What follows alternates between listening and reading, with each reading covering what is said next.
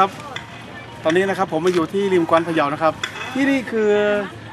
ลานสาธารณะนะครับของเทศบาลนะครับ ริมกว๊านพะเยาพอดีนะครับ ช่วงนี้นะครับที่นี่มีกิจกรรม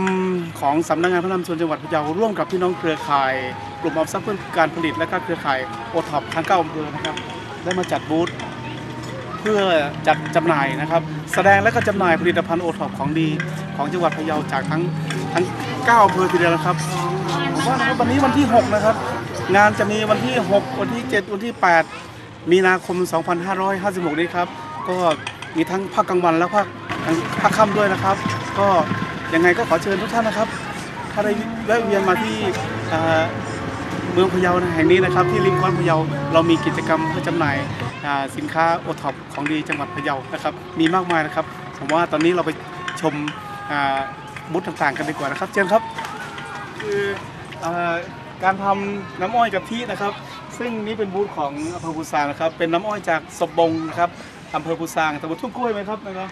ตำบลสบบงตำบลสบบงนะครับอำเภออ่าจังหวัดอำเภอปูซางนะครับ ก็เชิญนะครับข้างในนะครับมีผลิตภัณฑ์น้ำอ้อยนะฮะอาหารพื้นบ้านของเรานะฮะเชิญนะครับ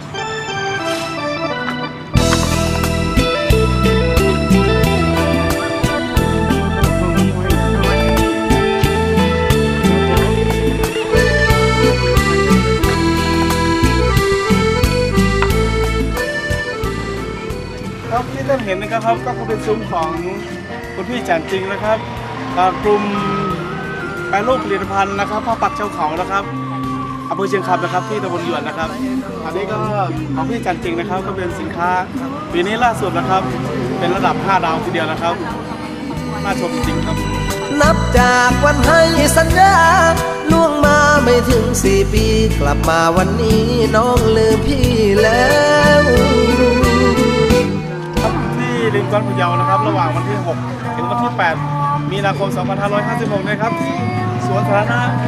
ของเทศบาลนะครับริมวานพะเยานะครับบรรยากาศดีนะครับ ชมพระอาทิตย์ตกดินแล้วก็ชมวานพะเยาอันงดงามแล้วก็อย่าลืมมาชมสินค้าของพี่น้องชาวจังหวัดพะเยาด้วยนะครัลับมาไหลก็ให้เขาปุ้มมือนุ่มก็ให้เขาจับ แก้มนวลเนื้อเนียนก็ยับ